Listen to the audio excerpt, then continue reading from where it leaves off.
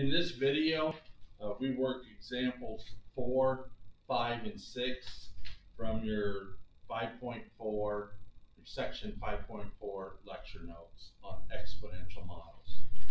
So in example four, we're given the drug lorazepam used to relieve anxiety and nervousness has a half-life of 14 hours.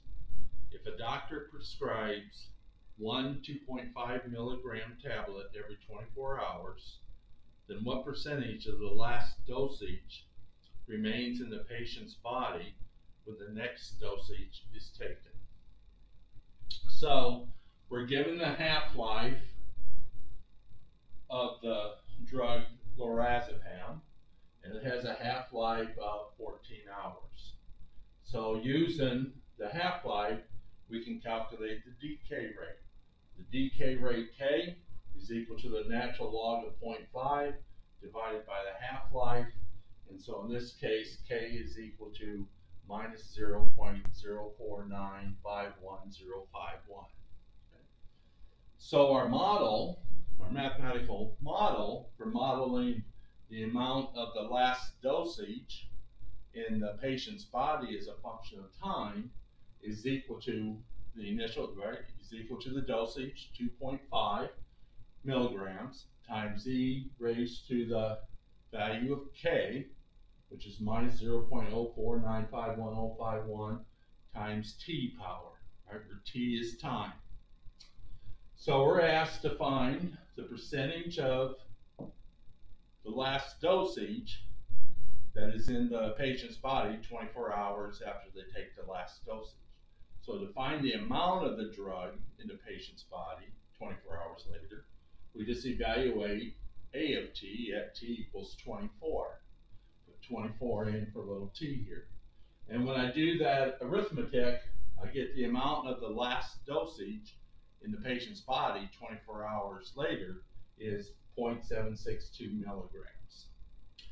But the question is, what percentage of the last dosage remains in the patient's body when the next dosage is taken 24 hours later?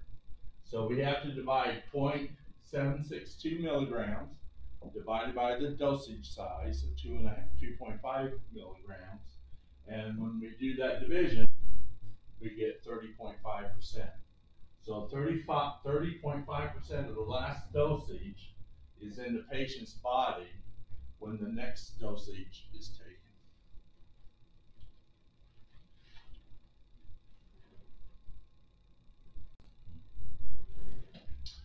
All right, in example five, we're given the burial cloth of an Egyptian mummy is estimated to contain 59% of the carbon-14 contained originally. How long ago was the mummy buried? Well, back in example three, uh, we calculated the decay rate for carbon-14, and we found the decay rate to be minus 0.000120097. So our model, our decay rate model, or decay model for exponential decay model for carbon-14 is the amount of carbon-14 at time t is equal to the original amount of carbon-14 times e raised to um, this number times t power. A sub 0 is the initial amount of carbon-14. And so we're given today um, the burial cloth of the Egyptian mummy, mummy contains 59% of its original carbon-14. So the amount of carbon today is 0.59 times the original amount of carbon-14. So to calculate how old the burial cloth is, we replace A of t up here on the left-hand side with 0.59 times A sub 0, which I've done over here. And now we can solve for t. A sub 0 is a common factor on the two sides, so we divide each side by A sub 0, and we get this equation right here. So we have a single equation in the variable t. And then when I solve for t, I get the age of the burial cloth is four thousand three hundred and sixty-one point seven years.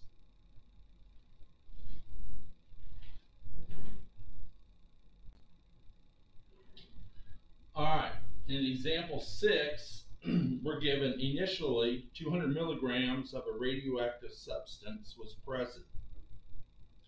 After five hours, the mass had decreased by three percent. In part A, you're asked, find an exponential model for the amount remaining of the decaying substance after T hours. So we're given that the initial amount of the radioactive substance is 200 milligrams. So A sub zero is equal to 200 milligrams. Now, after five hours, 3% of this 200 milligrams has decayed, which means 97% is still, 97% of the initial amount still remains. Right? If 3% is decayed, then the amount that remains is 100% minus 3%, which is 97%. So the number of milligrams that remain is 97% of 200 milligrams, which is equal to 194 milligrams. So 194 milligrams of the radioactive substance remains after five hours. Our exponential decay model for this problem is A of t is equal to the initial amount A0, sub-zero, times e to the kt power, where k is the decay rate. So we got to figure out what the decay rate is for this problem. Well, we put in 200 in for a sub 0, and we know at t equals 5, right, the amount remaining at t equals 5, 5 hours is 194 milligrams.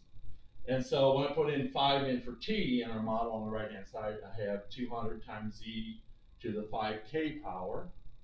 And so I replace a sub 5 here with 194. And now I have this equation in the variable k. And when I solve for k, I get the decay rate of minus 0.00609,184.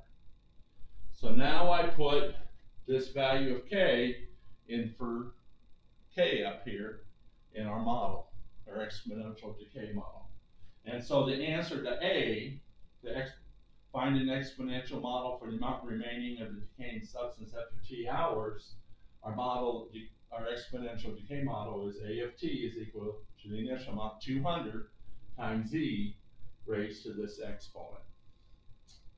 In B, you're asked, find the amount remaining after 12 hours. So to find the amount remaining after 12 hours, I just put 12 in for t, and I have A of t is equal to 200 times e raised to this power. And when I do the arithmetic, I get the amount remaining after 12 hours is 185.9 milligrams.